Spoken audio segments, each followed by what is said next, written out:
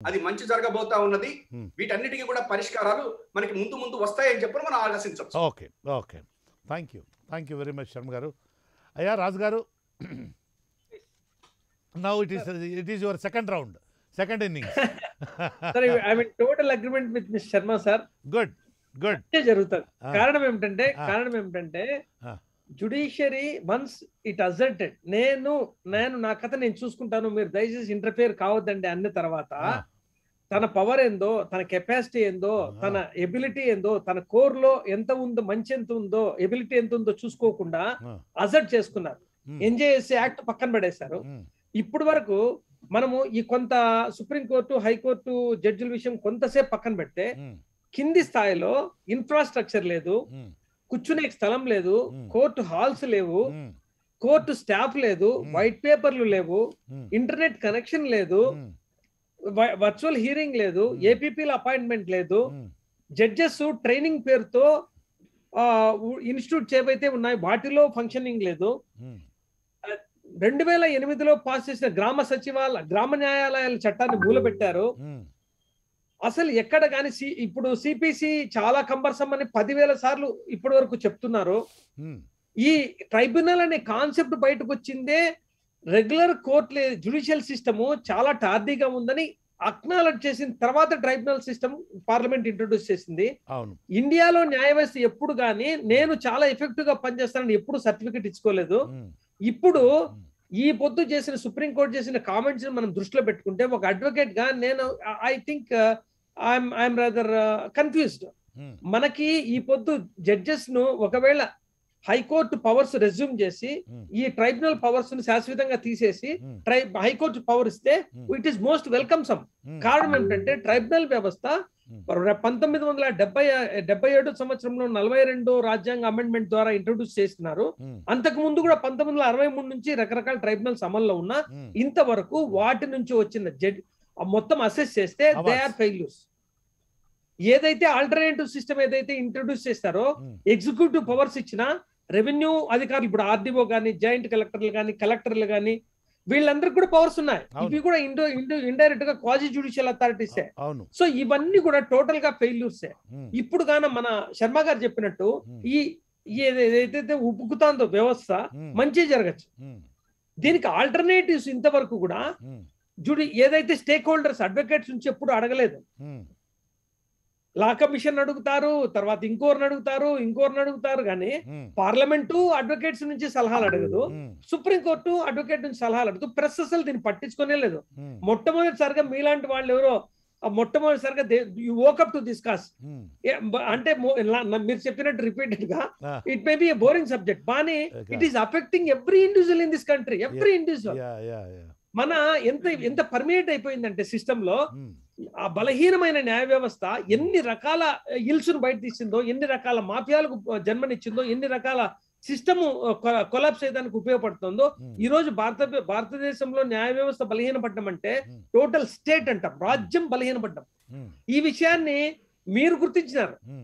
ఇది ఇది it must be debate in every household in every individual ఇప్పుడు రాజకీయ సగటు రాజకీయ నాయకుడికి న్యాయ వ్యవస్థ మీద ఏమన్నా అధిక ఏమన్నా ఆలోచన ఉందా? అంటే పార్టీ ఆఫీసులోకి పోతే వాళ్ళకి హైకోర్టు అడ్వకేట్లు సుప్రీంకోర్టు అడ్వకేట్లు తప్పితే కింది స్థాయిలో న్యాయ వ్యవస్థ ఉన్న విషయాన్ని వాళ్ళు గుర్తించేది మానేశారు.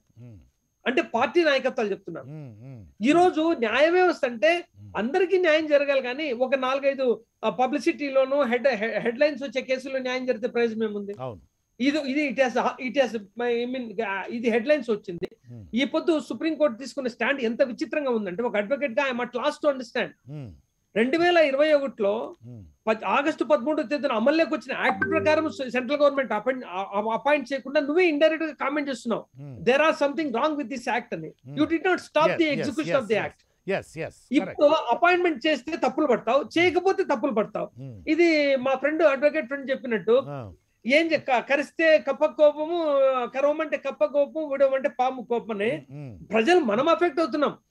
ఈ డిబే ఇప్పుడు ఏమైతుందంటే this is completely I mean it is creating a new set of facts new set of circumstances so మేము చెప్పేది ఏమిటంటే ఈ డిబేట్లో ఈ ట్రైబ్యునల్స్ అపాయింట్మెంట్ను ప్రభుత్వం పాలసీ డెసిషన్గా వదిలేయడం అనేది చాలా ఆరోగ్యకరము శ్రేయస్కరము ఆల్టర్నేటివ్ లేదు దీంట్లో.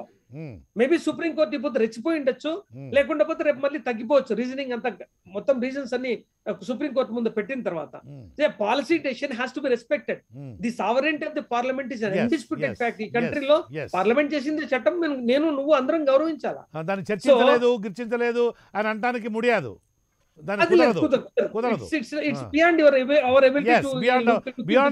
Beyond the limit of the purview of the anybody for that matter.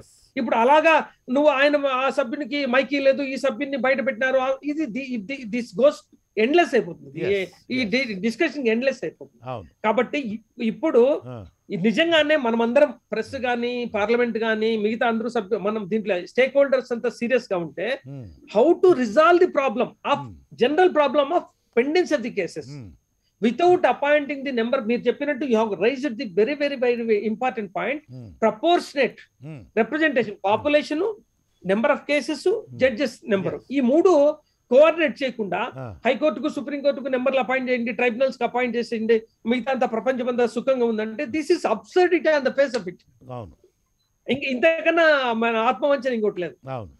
అవును. కాబట్టి ఈ ఈ రకమైన ఈ రకమైన ధోరణి ఈ డిస్కషన్కి ఏదైతే మీరు స్థానం ఇచ్చారో mean as an advocate as a సాధారణమైన పౌరు పౌరునిగా I'm thankful and it has to go head it is beginning of the discussion it's not the end of the discussion.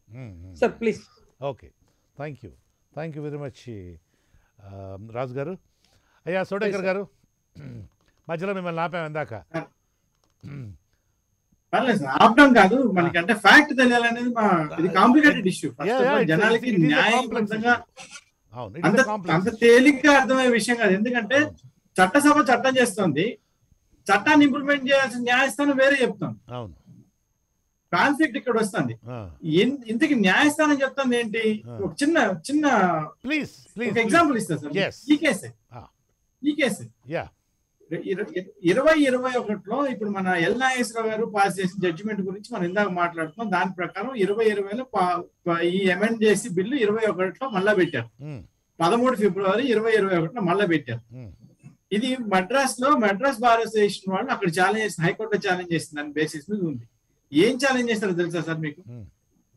వాళ్ళ హెచ్ఆర్ఏ అట లక్షన్నర ఇవ్వలేదట. చైర్మన్కి హెచ్ఆర్ఏ లక్షన్నర ఇవ్వలేదట. మెంబర్కి లక్ష పాతిక వేలు ఇవ్వలేదట. ఇదే సార్ ఒక మెంబర్ మీరు ఎక్స్పెక్ట్ చేసుకొని దీనికోసం మీరు అపాయింట్మెంట్ తీసుకోరా? ఇదే మీరు చేసే సర్వీస్ ఇది గొంతమ కోరిక కాదా?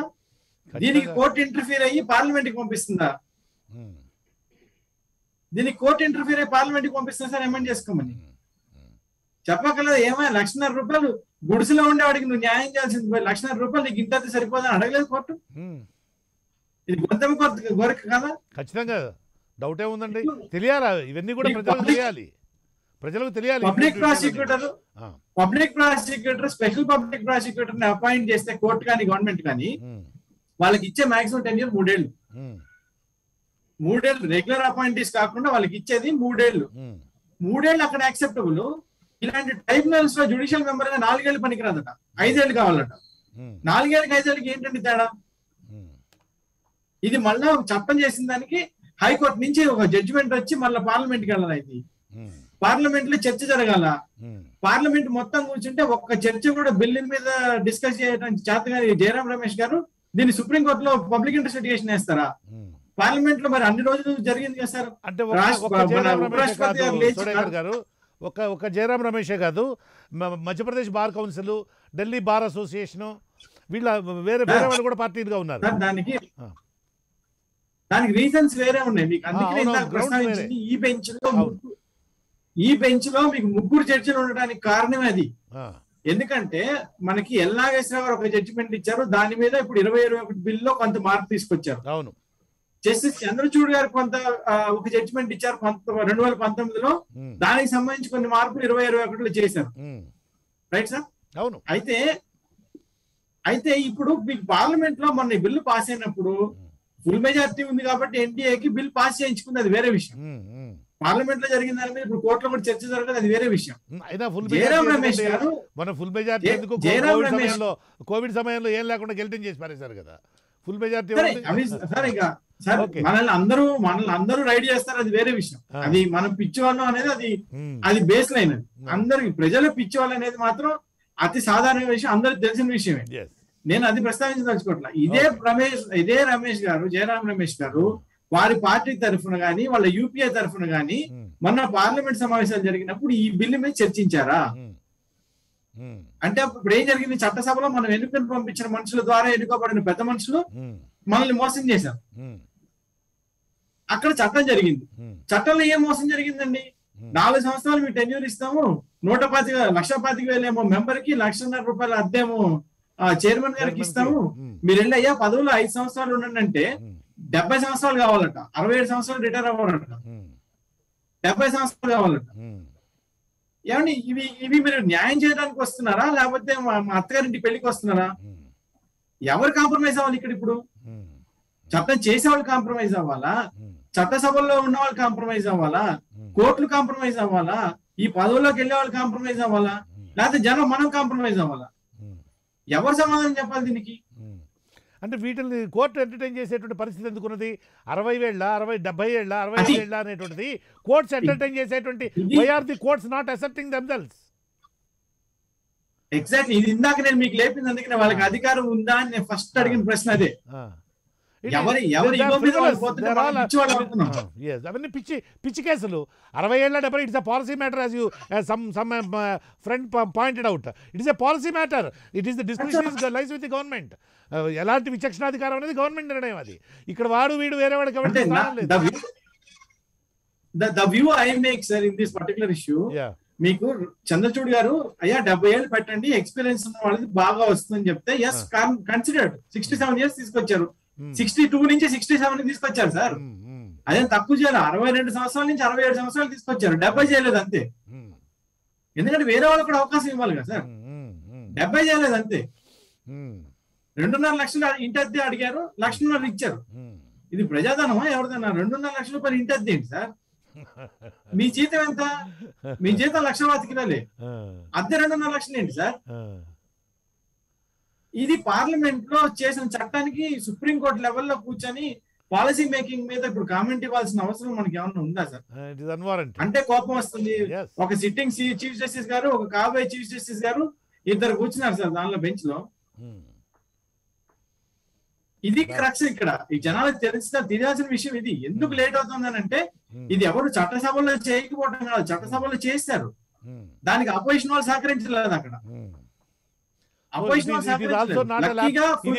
ఇది ప్రభుత్వ పరంగా జరిగినటువంటి లోపంగా కూడా మనం భావించడానికి వీల్లేదు.